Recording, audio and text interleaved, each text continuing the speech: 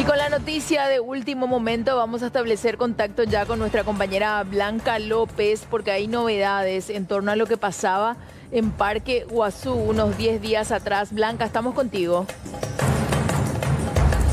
Gracias compañeros. Aldo Steven Pereira Saucedo, de 28 años, es la persona más buscada en estos momentos por la Policía Nacional.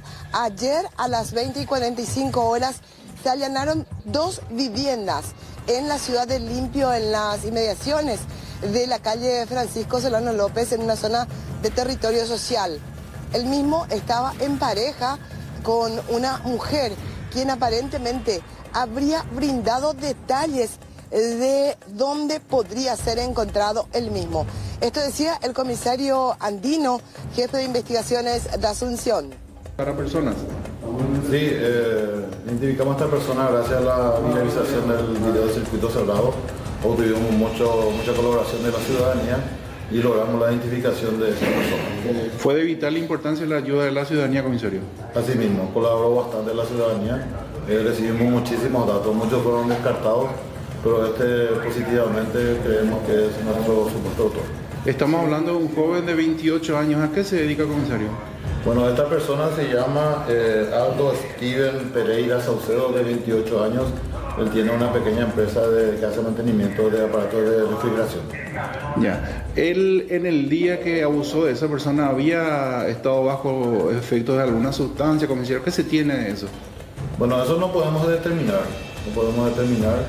Eh, lo que tenemos que el día del hecho, él había, cuando regresó a su casa, que había eh, llegado con una lesión en el rostro, como un arañazo fue lo que manifestó eh, su pareja. Y también eh, que el día que se viralizó el video, desde ese día él ya salió de su casa. ¿Se realizó un allanamiento?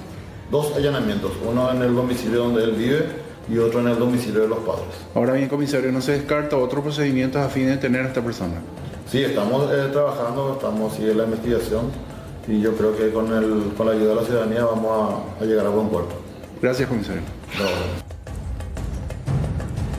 Bueno, Blanca, seguimos contigo ahí. estos allanamientos se realizaron en la ciudad de Limpio. En Limpio, efectivamente.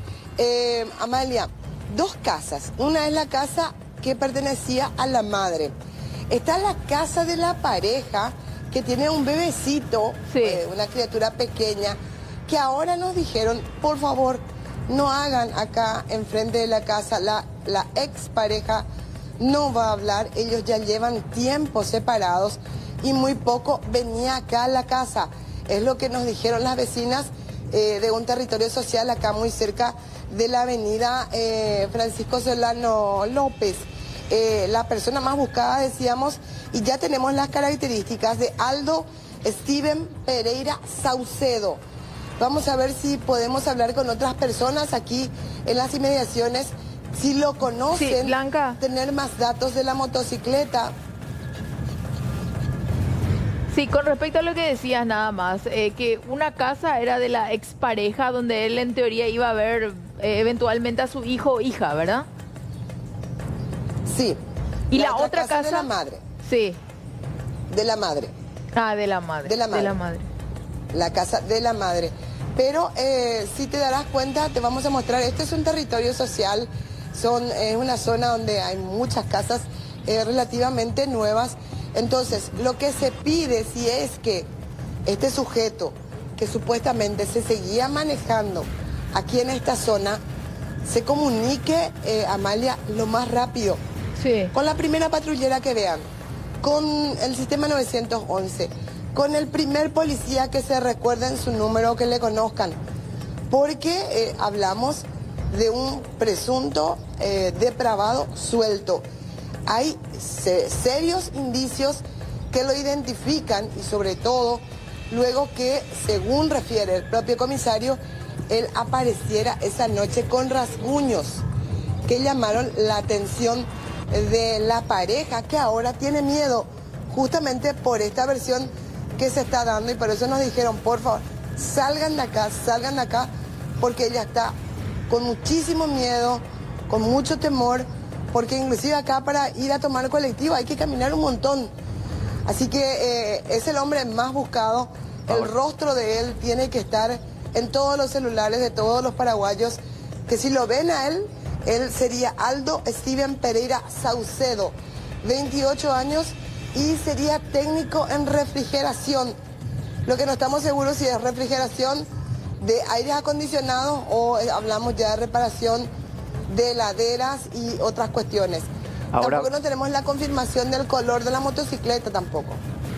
Ahora, Blanca, eh, vemos la fotografía que dio a conocer la policía y este corte de pelo eh, comparado con esa foto de perfil que es la más cercana que se tiene de los circuitos cerrados dentro de las inmediaciones del Parque Guazú, las características son muy similares y me imagino que también pudieron cotejar con la víctima, con la denunciante en este caso, a ver si es que reconocía a su agresor.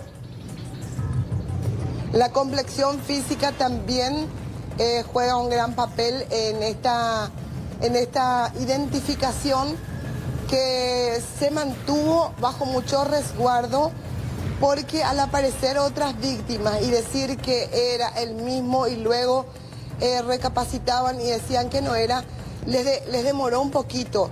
Lo cierto y concreto es que se recibieron ya hace unos días informes, pero faltaba esa confirmación si es. Imagínate si ponen en Google ahora, este sujeto se desplazó desde este lugar, que sería hacia la zona de Salado, por ahí, eh, Chile, eh, y no es muy cerca tampoco. Pero convengamos que una de las rutas de salida es yéndose por Moracue, ya sale a Luque y de Luque ya está a un paso de Parque Guazú. Sobre todo esto se agiliza con la motocicleta. Me quedo con el detalle que decías, eh, la mamá de la hijita de Steven tenía mucho miedo y le contaba aquí a los compañeros, a patadas tuvieron que abrir la puerta, decir, ella tiene mucho miedo, Blanca, no sé si no confía en la policía en la tarea o él la tiene amenazada ante cualquier dato que pueda brindar. ¿Qué se pudo saber de lo que ella contó, Blanca, en ese primer momento de la llegada de los uniformados? La verdad que eh, nosotros quisimos, eh, ya una vez que tomamos conocimiento de, este allanamiento, eh, nos pusimos en contacto con la policía ella volvió a, ella había colaborado inclusive y algo importante también es que se incautaron celulares. Lo que no tengo seguro es si es de la casa de la, de la madre el mm. celular que se incautó.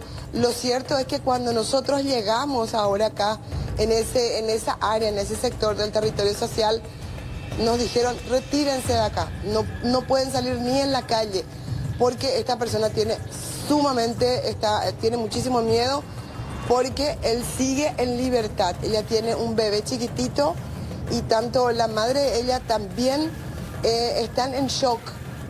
Porque imagínate el tenerlo en su casa a una persona que sea capaz de violentar a alguien con tanta saña. Ojalá que la madre también en protección de otras mujeres y como mujer colabore también o hable con él para que finalmente se entregue, cosa bastante difícil.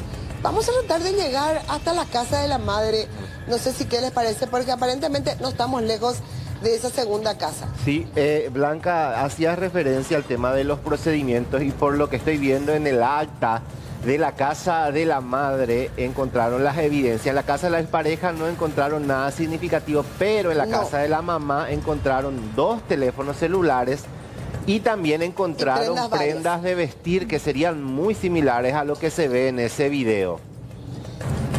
Y que tendrían que ser llevados al laboratorio forense para extracción de muestras de ADN porque quizás pudo haber quedado fluidos de la víctima impregnadas por esa ropa.